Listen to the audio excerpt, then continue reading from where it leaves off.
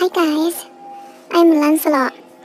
I like going to the park and running around and uh, do the frisbee and talk lot. Do you want to go together? Let's go there so I can hurt you. Alright, see you then.